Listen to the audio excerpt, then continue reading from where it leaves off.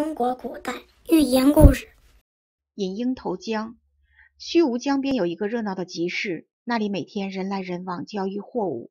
一天，突然从江边传来了几声婴儿的啼哭声，人们的注意力全被哭声吸引过去了。循声望去，看见江边有一个渔夫打扮的人，手中抱着一个婴儿，正要把婴儿扔入江中。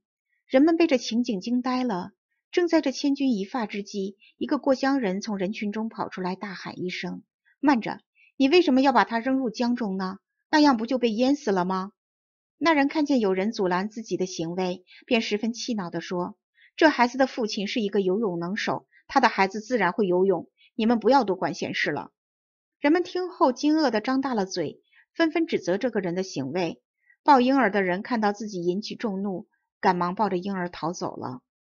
干什么事情都不要想当然，要根据实际情况灵活处理问题，才不会做出荒唐幼稚的事情。